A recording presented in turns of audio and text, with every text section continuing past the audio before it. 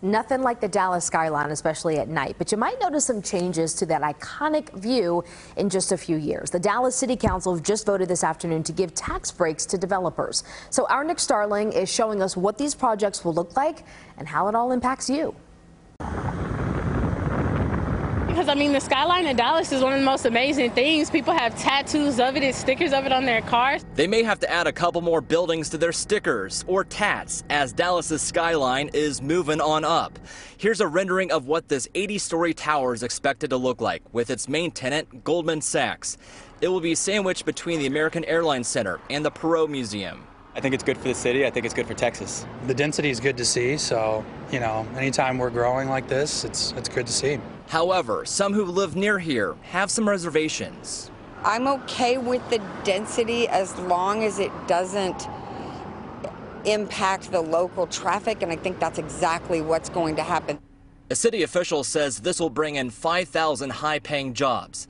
The second project is right next to City Hall called One New Park and will be 38 stories high. It will be a mix of office space, hotels, retail, and apartments. Councilman Tennell Atkins touts the economic benefits this will bring to the city. I think you look at the property value, you know, billions of dollar property value, you know, millions of dollars worth of um, permits going, but also jobs, the jobs tens of thousands of jobs.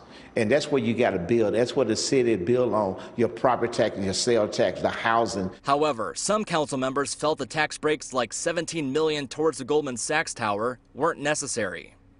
I feel that there are much better uses for this $17 million subsidy of a public corporation that would better serve our taxpayers.